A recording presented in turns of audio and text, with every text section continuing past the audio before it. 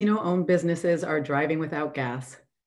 I know that many of you may be working from home, not working at all, struggling to keep your businesses afloat, or helping others to do so, and likely juggling any number of responsibilities. I sincerely hope that you and your loved ones remain well, and thank you for taking the time under these difficult circumstances. My name is Abigail Golden Vazquez, and I'm the founding executive director of the Aspen Institute Latinos in Society program. Our mission is to identify, promote, and catalyze ideas and solutions that foster greater opportunity for American Latinos, enabling a more prosperous and inclusive America for all.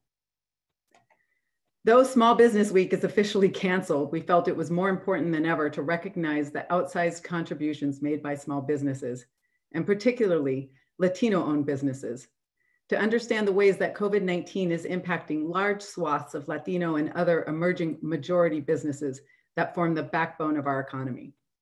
Our expert panelists will explore both the challenges and opportunities that this Black Swan event has unleashed. Prior to COVID 19, Latinx owned businesses were the darlings of the economic recovery, leading in new business creation at twice the rate of other groups, while non Hispanic white owned business creation was in a prolonged decline. Latino entrepreneurs account for one in four US businesses contributing more than 300 billion to the economy annually, despite very real challenges they face in accessing capital for growth. This outsized new business opportunity led, the Latino, led by Latino entrepreneurs contrasted with the low growth in the size of their businesses. A mere 3% of Latino owned businesses reach a million or more in revenue. Led us to create the Forum on Latino Business Growth, a group of cross sector, multi ethnic, business ecosystem leaders committed to coming up with solutions to accelerate the number of scaled Latino owned businesses. While Latinos in society in the forum remain committed to scaling, we're well aware that the new reality means we must center our work around the survival and recovery of these businesses first and foremost.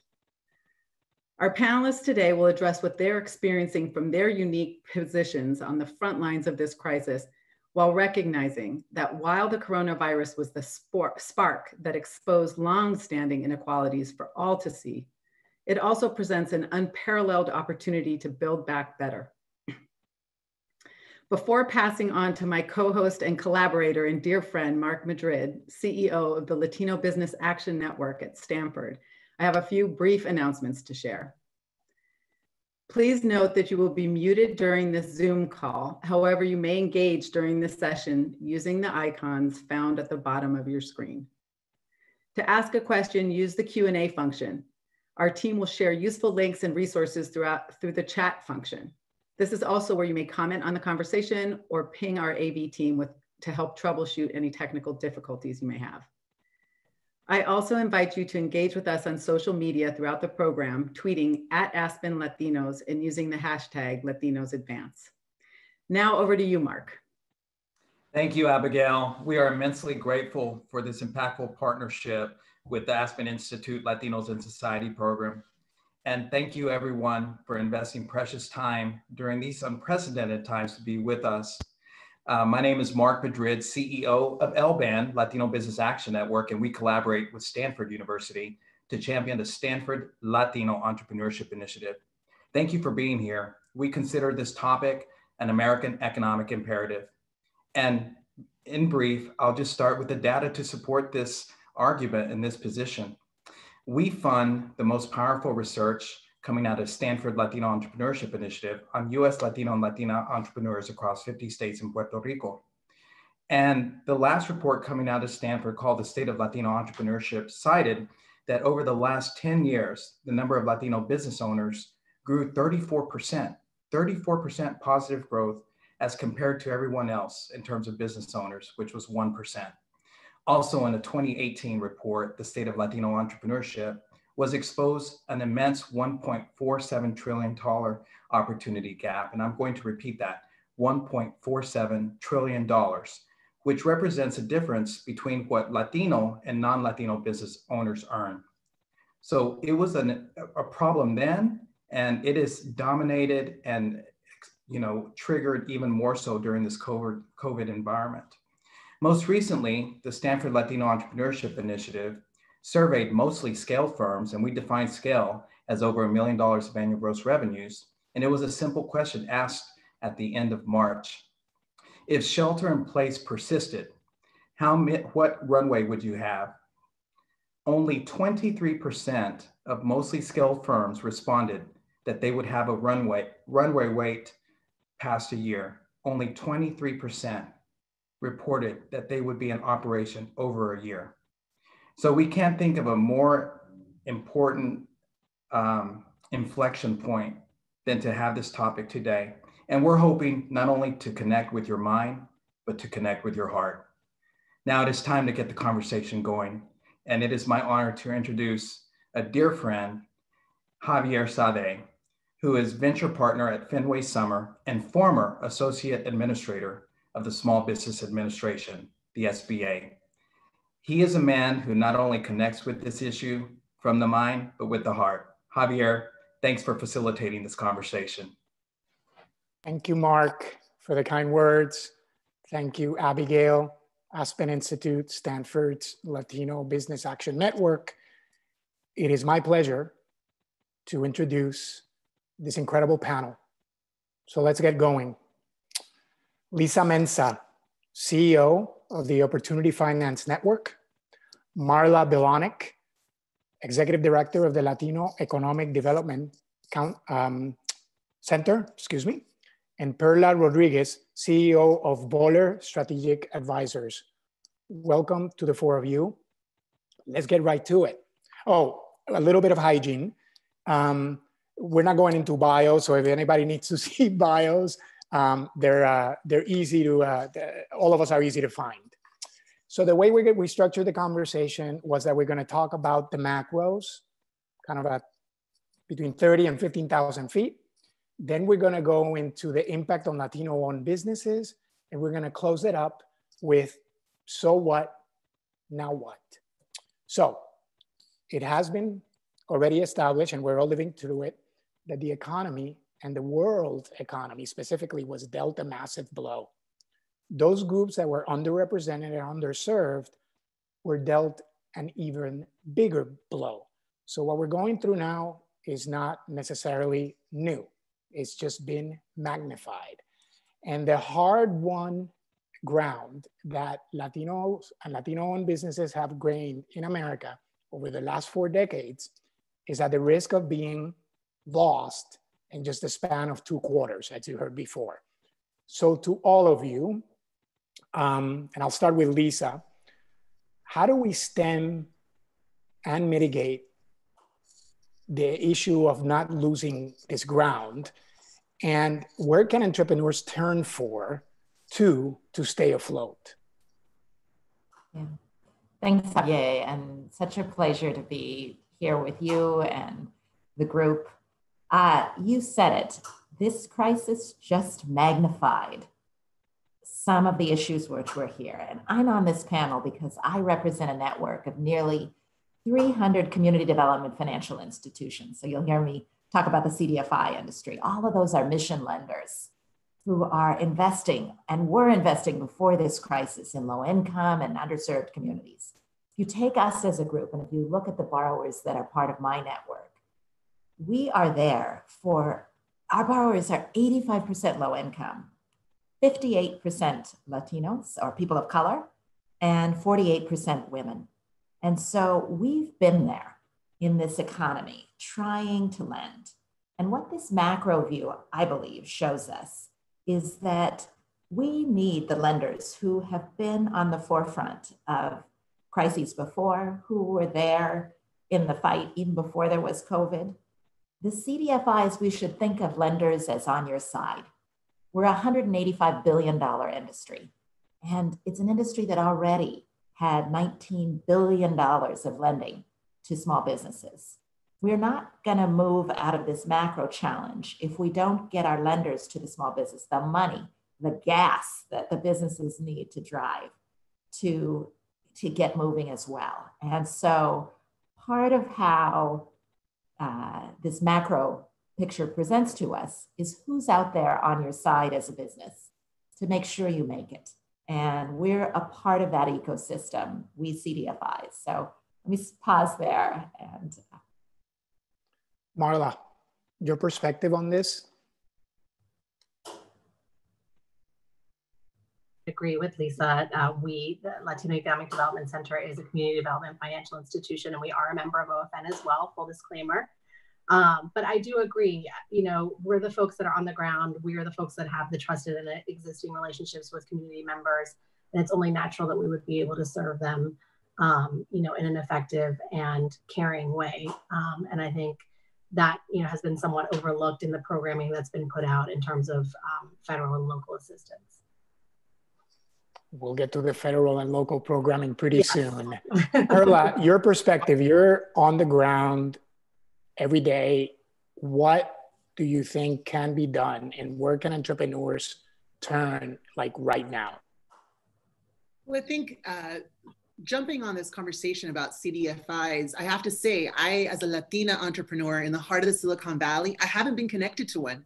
Um, and through this crisis, I've really come to see uh, the challenges of not diversifying even how I bank, you know, my approach, the relationships that I have. Um, and I think it's a huge and tough lesson learned for me.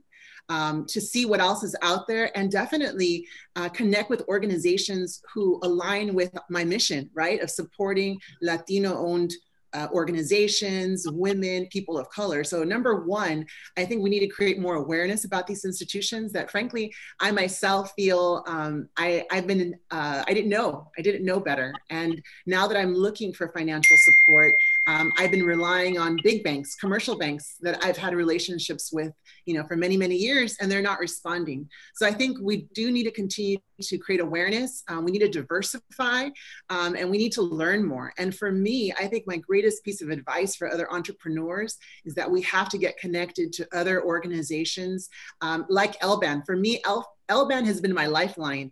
Uh, the network of other Latino entrepreneurs who are sharing their, their, not only their challenges, but their strategies for surviving this. I've been able to lean and listen to other folks about how they're getting through this. Um, and the LBAN staff has provided information and support so that I haven't felt lost. I may be, you know, uh, worried, I may be uh, dealing with challenges, but I feel supported. And I think that every Latino entrepreneur needs to find that support network. That would be my greatest piece of advice. Thanks, Perla. And that optimism is the kind of thing that's going to get us out of this uh, situation. Because at the end of the day, um, a lot of what we're going through, um, what's going to get us through it is uh, is what we feel and what our attitude is. But let's talk a little bit about this uh, massive stimulus that the federal government rightfully put their shoulder behind. I think the tally now is up to $7 trillion, depending on how you count it. Half of that is going to be borrowed or printed this quarter, um, meaning um, we're going to print the money this quarter. Of that 7 trillion, about 10%, 700 billion, that's a big amount of money, was set aside for small businesses. Yet you all have touched on different aspects of this issue of um, the structural need is not matched to the solution. And that could be because banks are not equipped to provide with millions of loans in the span of a few weeks.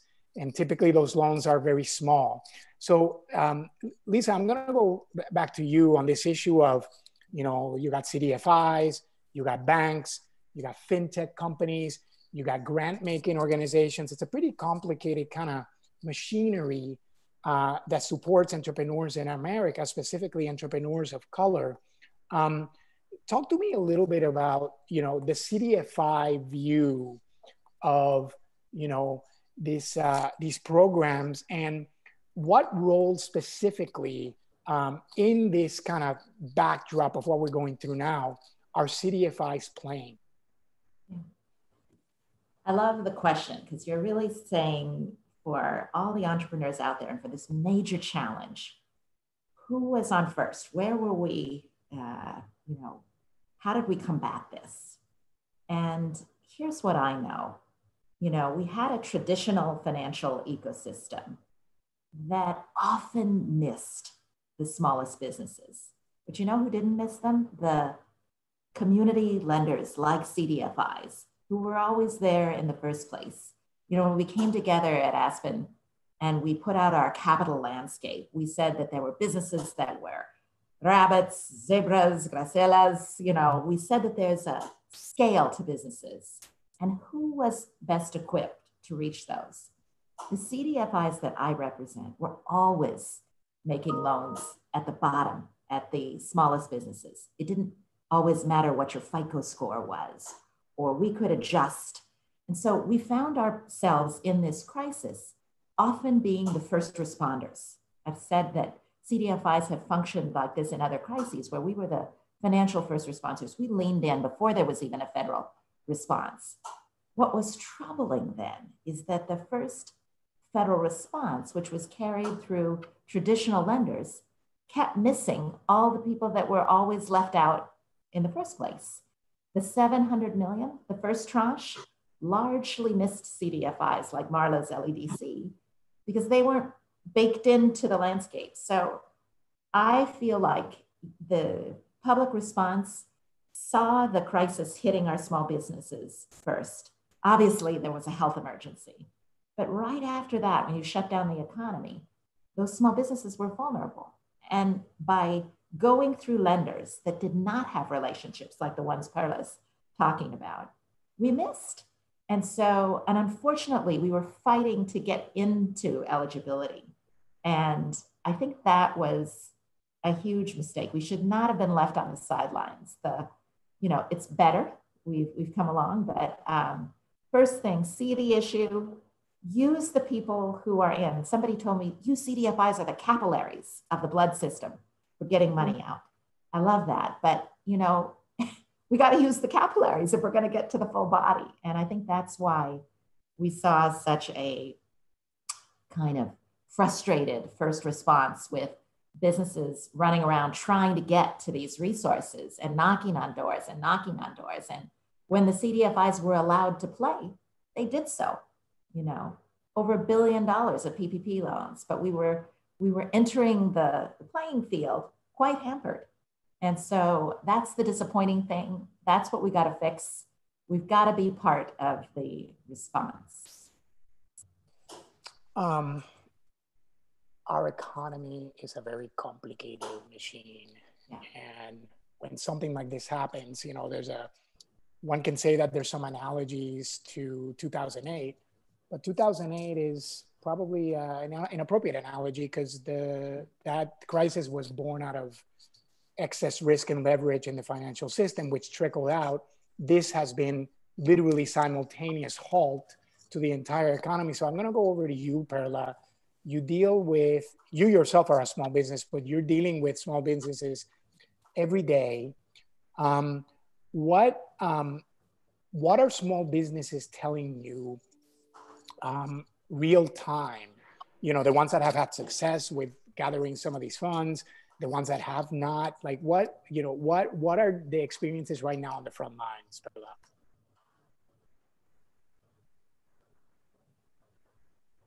can you hear me so sorry. Yes. You know, in being part of the LBAN network, I've been able to hear about the many stories of uh, experiences that people are having. I think that a number of organizations um, are still looking and searching for resources. Uh, many of us have not received PPP funds, um, have not received SBA funds. And so we're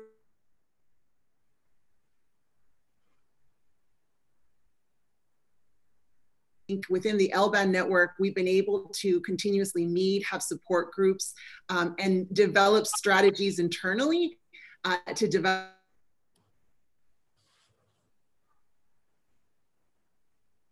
I think we're having a little bit of a streaming issue, Perla, with uh, with you. So I'm going to come back to you okay. in, a few. Mar Marla, I'm moving over to you. I mean, your your CDFI is focused directly with um, with Latino owned businesses. Mm-hmm. That's the focus of our discussion. Just what's your what's your view at the at, at the ground level, not the forest, but the weeds? Yeah, I mean, the one thing that I'll say is just what we're seeing, and it's you know echoed in, in the comments that Lisa made and, and as well, is that this is really a race to access, and our clients, you know, when else has there been a time that every single business in the entire United States has been impacted by a shock like this? You know, there have been natural disasters, there have been, you know, man-made disasters like 9-11.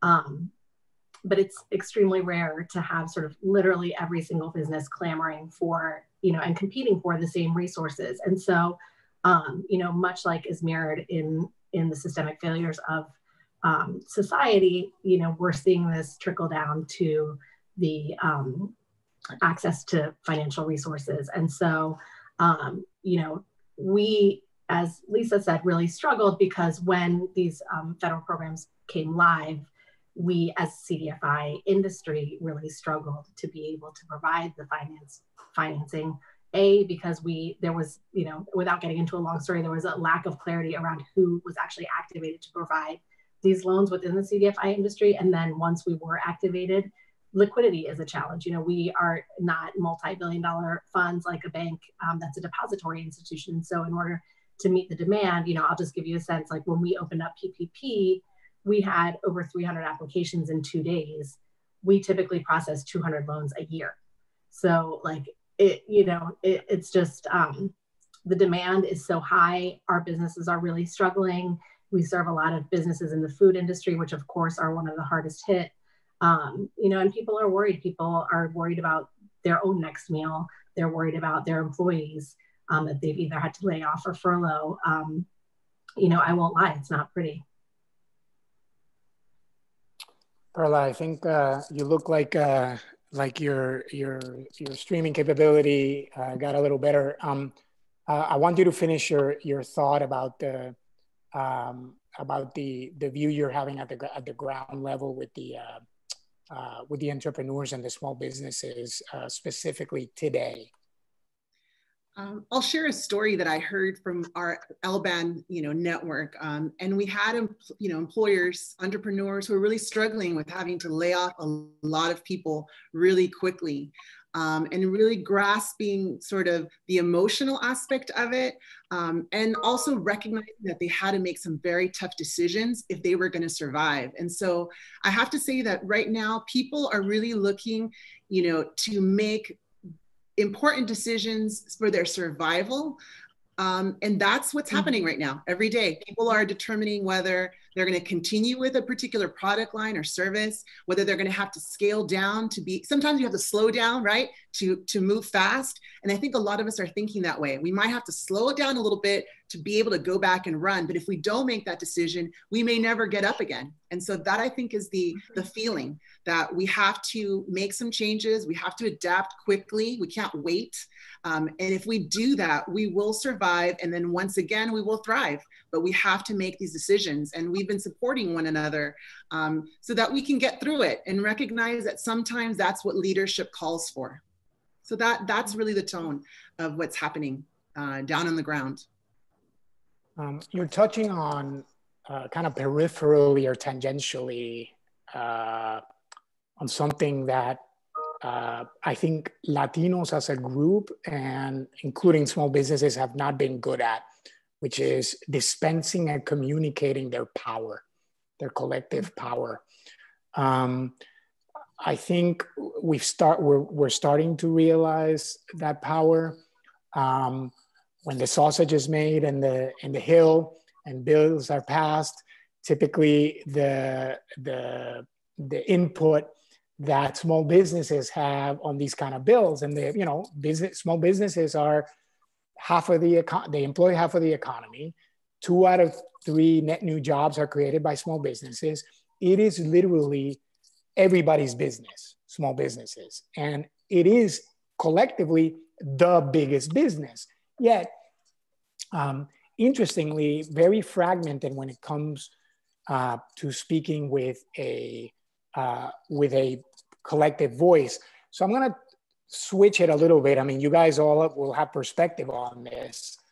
Um, if you if you look at what happened with the first slug of the money, the 350 billion dollars, about something between three and four percent went to uh, businesses owned by people of color, which means that a smaller amount went to Latinos. It's dismal, to put it mildly, but sadly explainable, right? Let's say you had the ear, and I'm going to start with Marla on this one. You had the ear of Jovita Carranza, the SBA, or Steve Mnuchin, um, or our president in the Oval Office. What would you What would you tell them? Uh, how would you um, verbalize and characterize the importance of Latino-owned businesses, the vast majority of which are small, and how would you tell them to have pursued uh, these uh, these relief programs? Sure. So, um, if I had their ear, I would tell them, um, you know, I would try to emphasize the importance of the job creation that happens through Latino-owned business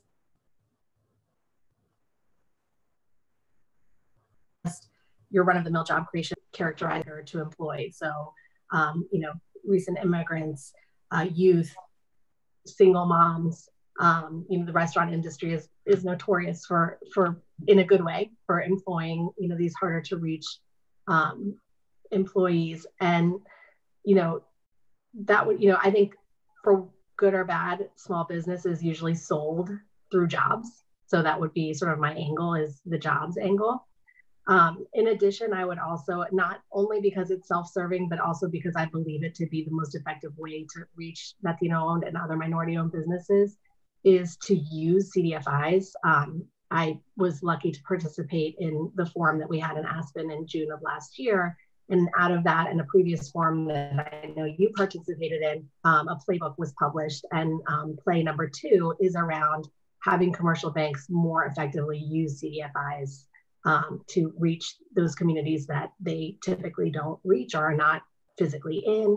Um, and I think that's really missing here is the, the use of, of CDFIs. Um, you know, we were a lucky recipient of a, a, fund from a local bank to be able to do PPP lending. And it, you know, has been such a great partnership because we're reaching people that they would never be able to reach and that they want to reach um, you know, and that's really what CDFIs are here for. We're here to reach, um, you know, in the the corners that banks really aren't able to access. And so I would really, really emphasize that, um, particularly to Jovita. Lisa, I'm sure you have all kinds of perspectives on on, yeah. on this um, on this kind of rethinking. You know, what better opportunity? Don't let a good crisis go to waste, and I don't say that lightly. Um, just your perspective on this. Obviously, there's a there's a friction between a little bit of a healthy friction, and now it's uh, a little bit unhealthy between banks and CDFIs. What you're sitting in front of Jovita and Steve Mnuchin. You got three minutes with them. What do you tell them? Okay, I hope I follow Marla because she already did the hard job. She convinced them that there's no choice. This is the American economy, and the the we've got to fix this. And I would start by saying use the capital providers that are CDFIs. Don't exclude us. Use us. Don't exclude us. You know us. You've known us. We've had a CDFI fund in Treasury for 25 years. We've been SBA approved lenders. Use us. Don't exclude us. We are part of the system. We want to lean in. If we get a chance, we will do you proud. So, first off, use us. The second thing I would say is let's fill up the gas at the CDFI as well. You know, we've got to go big now. This is a moment when these kind of lenders who are specialized need to play in a big way. And I don't just mean in, you know, uh, May of 2020. I want our network to be there for all of 2020, 2021 as we push these businesses like Perla out into the recovery. So if I had the ear of Jovita and Stephen Mnuchin and our president, I would say it is time. You've known this industry for over 30 years. Help us do an emergency appropriation now to shore up the Marlas, the LEDCs, the we need a we we're asking for a billion dollar uh, emergency appropriation to the CDFIs. It's a thousand member, a thousand uh, institution network. So, but don't just stop there. Make sure that we've got the gas to keep funding to keep moving. That was why it was important for us to have liquidity through the Federal Reserve. You know, use this network. It is so, it's tested, its losses are, are minor. You're going to get the public private partnership you have always wanted if you double down on our network now and really use us. We're in place. You know, this is not the time for starving the group that is best positioned to lend strongly and to support. We're not only lenders, we're also the group that's going to help network, help what Perla was saying. You know, sometimes the solutions are not just financial. And that's the, the plus you get with a CDFI. You get Marla's talent around connecting you to other resources. And this is the moment. And, you know, I think we're a great bet. I don't think we're that expensive. I think we're in place. We're local. This is not some federalized solution. CDFIs have grown up in and from the communities. So that's my play. And I hope they're listening. I think they want to achieve more for this country. It's, it's just too important. Mark Madrid's stat that we've left a trillion dollars, a trillion four, out of our economy by not pushing our Latino owned businesses forward. To me, that's a stunning stat. We've got to move this group forward and we want to be partners. You're both hit on uh, something that um, I was very focused on when I was um, in the last administration, which is that the argument that underrepresented groups through advocacy and different things uh, usually make to the public sector center on social justice. But the gas we're talking about, capital, the gas for the engine, is about business, yeah. right? So, uh, and I think we've been really good as a as a group in starting to make that case with data about the imperative of small businesses, uh, Latino entrepreneurs, African American entrepreneurs, and how they are pathways to success, and that America is, last time I checked, about 30% white male. So America looks a lot like this group looks like here uh, heavy female, heavy brown and black. So Perla, let's talk a little bit about um, some of this, uh, some of these issues, because um, you know we're living in a reality, right? Like we just exposed a little bit of the what if situation, but now we're in a reality. The switches are being turned on at different states. Some businesses have already failed. Many more are likely to fail, but some are going to be ready to go. What are you What are you telling uh, what are you telling those small businesses uh, um, as they um, as they continue to sort to navigate this? Um, as I think about this situation and this pandemic,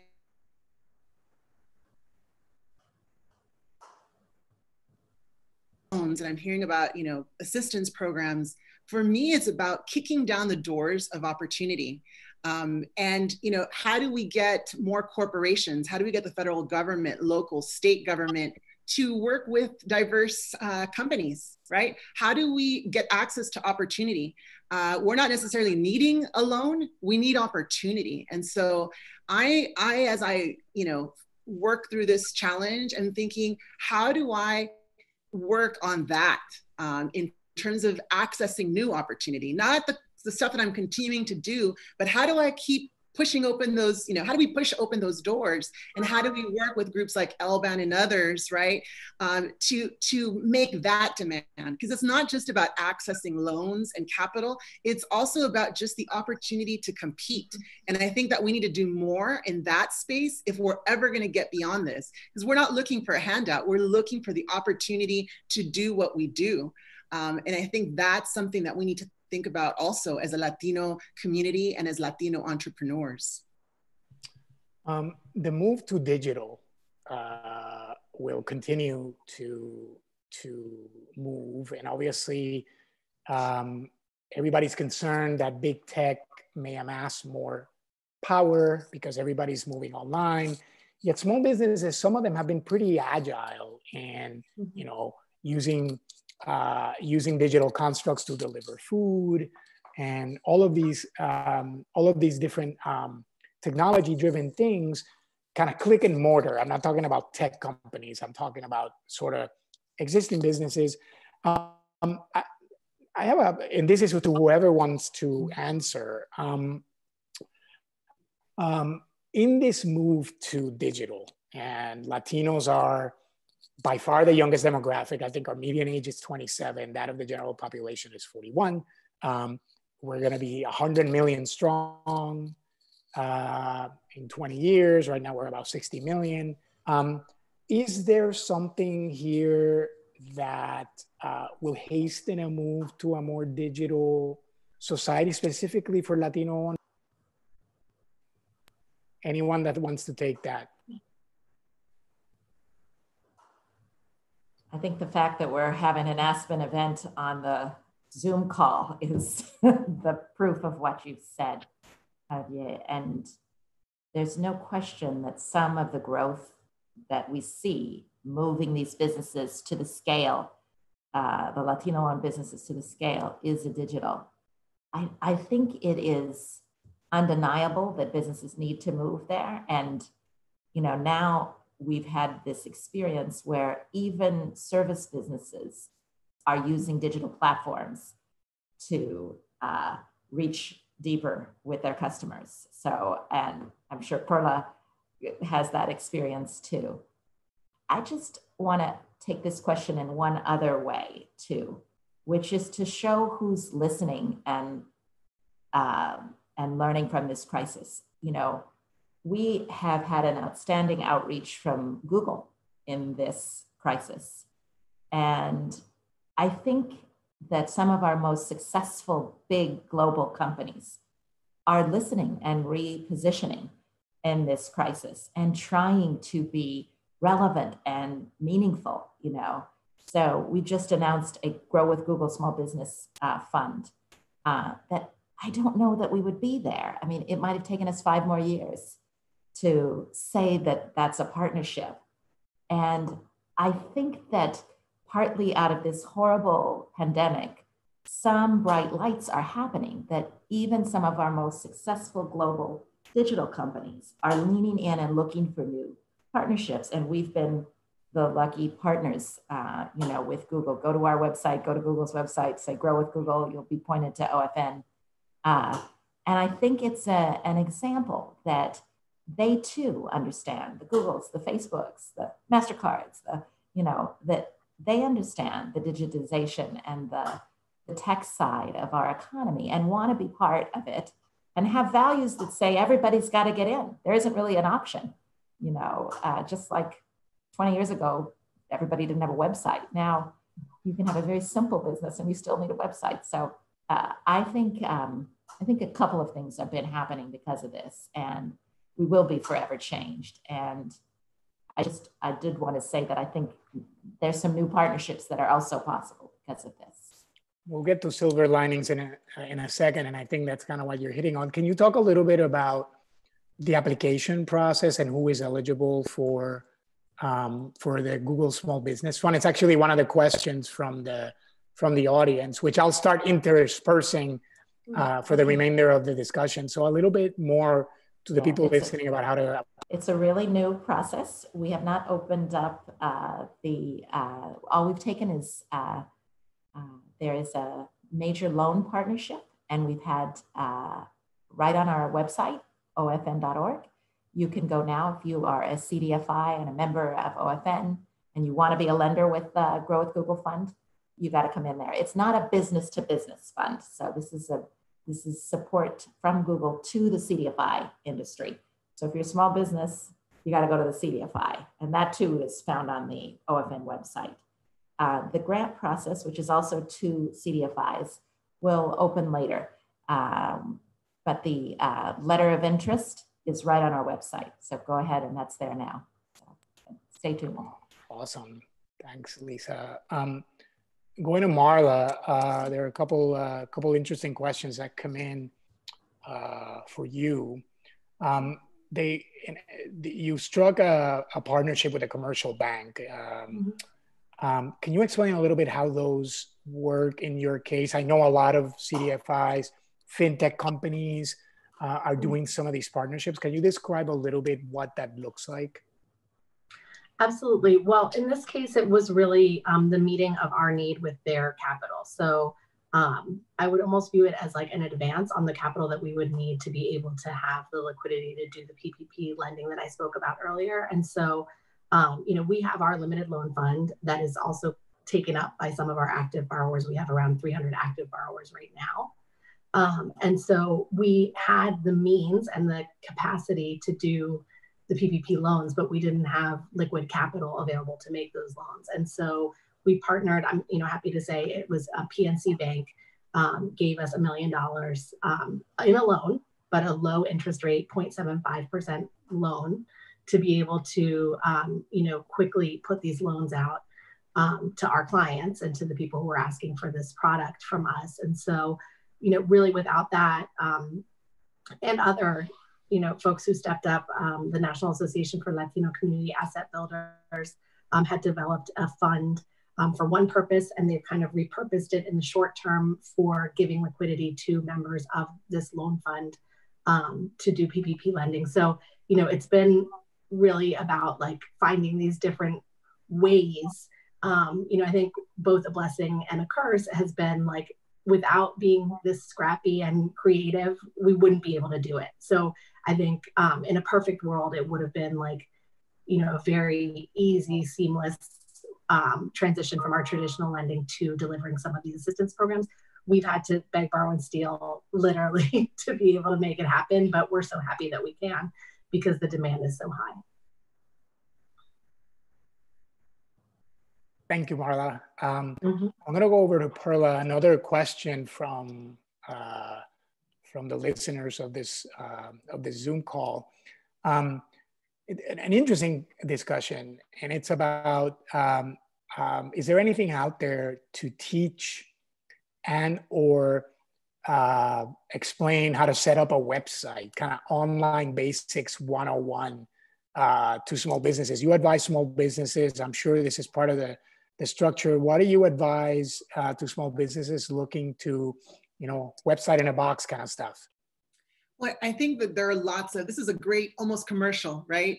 Uh, there are lots of great Latino owned firms that do communications, website mm-hmm. work, we're going to have to make some investments as organizations if we're going to get through this, right? And so take the time to do your research, look at what Latino uh, organizations, businesses are out there doing this work, um, and make the investment. I think this is the time to think about what we truly need and what are those investments that are going to propel us forward. And so um, my answer to that is there is a wealth of companies out there, Latino owned, Latina owned uh, companies that do this kind of work, including my own. And so take the time to make some investments. All of us are going to have to make investments in changing, um, and those investments are going to help us be more effective in the long run. So again, back to my analogy of having to slow down to to run.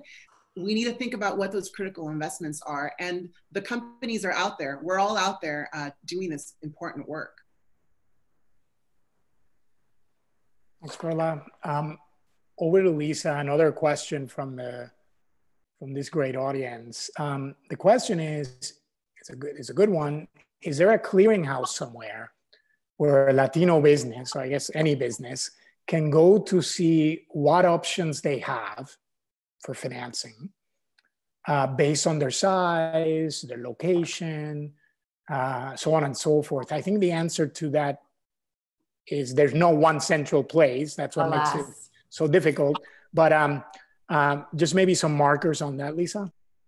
Well, I would I would start with a local CDFI. Somebody you can go on our website. We have a CDFI locator because what you find, and we're all sitting in our living rooms right now, but um, what you find are people who are not just you know 800 numbers somewhere in you know another country. They're going to eventually get back to you and say, you know, how can we help?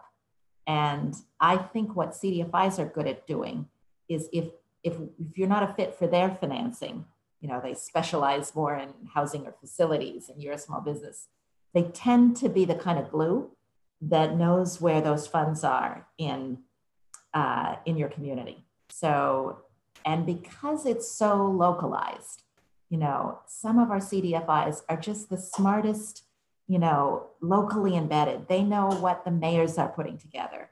They know what local bank consortiums are putting together, or they were like Marla, they're part of it, you know. Um, I'm going to encourage folks to try a partnership. You know, I love Perla's recommendation to be part of networks like LBAN has created. But for a quick, I don't, there isn't one clearinghouse. Uh, and, but in this digitized world, it won't take too many clicks before you can at least see who's offering lending and other services in your area. And I would encourage folks, because sometimes, you know, it, this does vary by locality. You know, there are programs available in some states and cities that aren't um, matched everywhere. It's not, you know, people access the federal funding in different ways. So I would really be mindful of that. And remember that there's a, we're in a crisis moment now. So there's a need for the gas of the moment. And then I think there'll be a need for the gas of the journey. And I think both things uh, could be an appropriate moment for a Latino owned business to connect with a CDFI space, you know, uh, to, to look for both kinds of gas. Makes sense. Um, so I'll, I'll answer it a little bit from my own vantage point. I invest in fintech companies, and uh, some well-known ones are Square, PayPal, Intuit.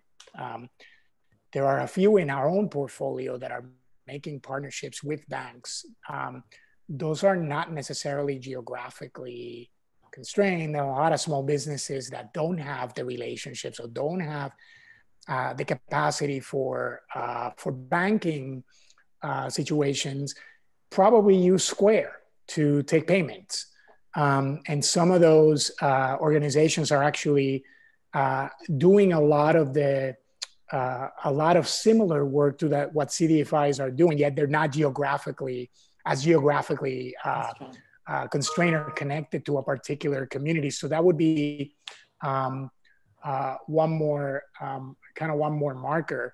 Um, let me read through the let me read through the um, through the questions here. Um, I'm gonna uh, kind of a jump ball here. Um, interesting question about the roles of chambers of commerce uh, most people know the U.S. Hispanic Chamber of Commerce, but there are you know, local chambers of commerce. Some of them are local, uh, specifically to cities, states, Latino focused. Um, how uh, how are they involved in this, and and how uh, how do you engage them, and what's their role? Whoever wants to take that uh, question, go for it. I can shout out some props because um, I think the chambers have weighed in at this big moment and been some of the strongest political voices advocating for the needs of Latino owned businesses, Black owned businesses. I'm very proud. None of us have enough juice on our own just to keep making that message. And I think the chambers were early in getting in there and making the case to, you know, leaders at the top level. Chambers have often been the place I mean, we're financing network. Chambers have made in America have been the connectors and uh, to do the kind of things that uh, Perla has been mentioning, you know, and and I think they've been changing. You know, I don't run a chamber; I run a network of financing players. But I think the advent of Hispanic chambers, of Black chambers, was also partly in recognition that often traditional chambers didn't give the kind of networking enough. So I'm proud that there has been an expansion of those. And my sense is that we would not have had uh, some of the quick actions we saw the government take had not these players weighed in. I mean, this was Marla's early point. All of a sudden, every business was hit.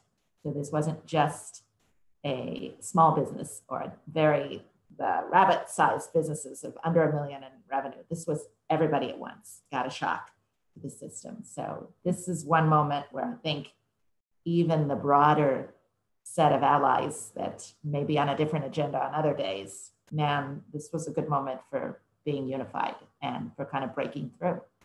And I hope that that stays together for the recovery because uh, when it comes, we're going to need those voices to say we got to finish the job. It is not done if just those businesses that had over a million and two million and three million in revenues come back we got to have uh, the rest of the economy come back. Uh, the interesting dynamics between what a bodega in Washington Heights mm-hmm. looks like to a business that may have 250 employees, um, a big pillar of a community that is Latino owned, and they have different needs, but they were all hit at the same time. Um, I think I'm going to take one last question and then hand it back over to uh, uh, back to Abigail and Mark. Um, you know, in terms of policy, uh, just looking looking forward, right? We've learned that the economy was much more vulnerable than we thought, right? The fact that we literally had to inject so much money so quickly kind of was the economy on fire or were we running on fumes? I'm not sure. Um, uh, the wealth disparity, right? The educational, it's kind of a big question, and I want to close it big. Um, educational, uh, you know, pathways to access to that, um, wealth creation in our communities being erased at incredible uh, speed. Um, from a policy standpoint, where where would you focus the hill going forward? Right, this happened. It put a magnifying glass on things that existed. Where should we where should we focus on? I can take a stab real quick um, if that's helpful. Um, I think the angle that I would take would be around the drastic disparities that are occurring from an income perspective in the United States. I think we're turning into, you know, for lack of a better term, like a third world country where they're the very, very richest of the rich who are like mega billionaires, and then you know people who are struggling to find their next meal. And so I think, um, you know, I'm not calling for socialism, but I think we need to really examine the systems that have put us in the situation where we, um, you know, have such drastic and vast disparities. Um, you know, I think exactly what you said. You know, when we, um, in our area here in the Washington D.C. area, had you know our first week of, of stay at home and closures. Um, in that first week, 25% of our portfolio reached out to us for leniency on their loan. So I would agree to you, agree with you that like everyone's kind of teetering on the edge there. It wasn't like everybody had some sort of a buffer to deal with this kind of scenario. And I think that was just a microcosm of the entire economy is that, you know, everyone's kind of teetering. Um, and this push, you know, is what has pushed us over the edge. So that would be, you know, my angle and I'll hand it to my other panelists to give theirs. If I, if I could jump in, I, I think policy around this access to opportunity, how much money does the federal government spend uh, for services and goods? Um, where is that spend being made? And is there opportunity, again, for minority owned businesses, women owned businesses, and other important groups to have a piece of that pie? Uh, I think policy around the opportunity to compete. Uh, I think that is important, and I, would love to see more being done there. If we can solve that issue, um, you know, we won't have as huge a need for capital because we're playing in that space, and we have to kick the doors down. And I think that sound policy around that would be, you know, life changing um, for Latino entrepreneurs. The biggest buyer of things and services is the federal government. They spend half a trillion dollars. We should have a bite of the apple. Lisa, one, a few last words before we hand it yeah. back to Aspen and Stanford. I love the question because it really is your now what question. And where would this hill focus? Well, like you, Javier, I had a chance to serve before. And the Hill needs to focus where they've always focused. We have a beautiful, powerful government that already has a budget, you know, already has departments that could be focused stronger. They need to pour the gas in the right directions, you know. When I was at the Department of Agriculture, we have powerful titles to fix the broadband, to support the businesses, to support the critical infrastructure. You know, we've seen what SBA can do SBA has done more loans now under this PPP program than you know typically they would do in years. So use those agencies and fund them wisely to reach down deep into the economy. And finally, our beloved Treasury Department. I think this crisis has shown that they've got to believe in the groups that they know are partnered with the financial sector. And I think this is the moment where the Hill should say, we don't move forward out of this crisis without a serious army of partner lenders. And that's our CDFI field, our field of, uh, of, of lenders who want to do this. So, you know, every year of this administration, we've started with a zero in the budget from the administration. Now, Congress didn't do that. Congress added it back. But that's what we need. The now what? We need serious budgets dedicated to the kind of things we already know work. These are leveraged, proven opportunities. So for me, the now what is take it seriously, use the budgets that you've got. Now with a lens to, I liked uh, Perla's thing, with a lens to opportunity. We're actually not asking for a bunch of new programs. We're saying fund what exists in a serious way to unlock opportunity. And uh, I really hope that's where we're headed. Budget budgets are policy for sure. And yes, this is not about new programs or expanding government or anything like that, regardless of the money we're printing. This is about funding priorities. And the way that's done is through a budget. Abigail, Mark, back to you. And thank you, panelists, for your perspectives, your time, and to the listeners, thank you as well. Thank you. Thank you so much. Thank you, Lisa, Perla, Marla, for your words of wisdom, and Javier for your extraordinary moderation.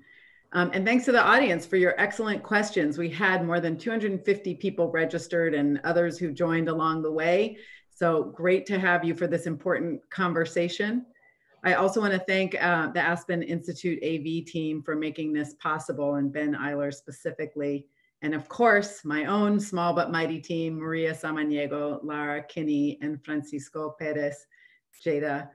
Um, before signing off, I want to share that we've included in the chat a link to our playbook for scaling Latino-owned businesses, um, which has, has several uh, plays that are specifically relevant to this crisis that we're facing right now, particularly a play, the play that Marla talked about on how to improve the way that commercial banks work with CDFIs and a market play on leveraging tools and technology to access global marketplaces and a high growth play focused on technology to enable internal and external Latino businesses to improve their operations. Um, just a last note here, while this crisis is catastrophic for huge swaths of the country, we cannot afford to miss this once in a lifetime opportunity to build better systems and structures that offer more equitable access to opportunity and that would foster an economy that works better for everyone. So with that, uh, one final note, please, uh, there'll be a short survey at the conclusion of this event. It's really helpful to us to get your feedback. Thank you so much. And to everyone, be safe and be well. And thank you to Mark Madrid and LBAN for your partnership as always. Um, it's a delight to work with you. Thank you.